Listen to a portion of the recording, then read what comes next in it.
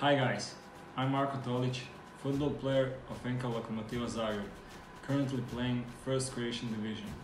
First of all, a fact that someone takes care of this segment of football game is something different than what I was used to. I loved being able to share my opinion with ballers from all over the world.